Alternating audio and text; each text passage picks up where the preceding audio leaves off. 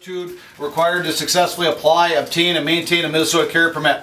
We're going to do that through a couple different ways. Obviously DVDs, discussions, live fire exercises the end of class. Our goal is to make sure you have a clear, concise understanding of all the stuff that we're talking about today. These that come in the box as well. One of which, of course, manual. Manual is very important. Um, it tells you how to operate the firearm, tells you safety things as far as that goes. Pointing in a safe direction. What is a safe direction? Anyone tell me? people. Away from people. Number two is always keep your finger off the trigger until ready to shoot. Why is that a good idea? So you don't accidentally fire.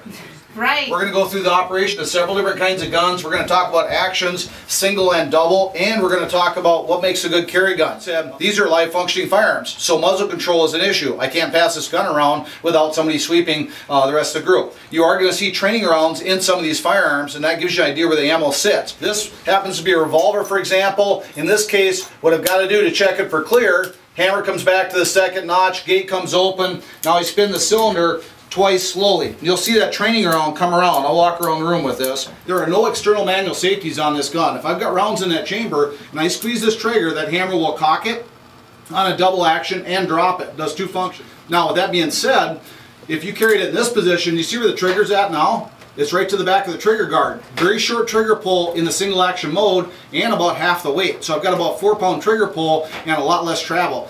If you carried it this way, you'd be more prone to snag clothes when you put it back in your holster. You could potentially set this gun off a lot easier. Even though you can't see that hammer in there, it's essentially cocking the striker, which is what hits around, moving rearward ever so slightly, essentially cocking it, and then it lets go after it falls off a ledge after you squeeze to a certain point, and then that striker goes forward and hits our round.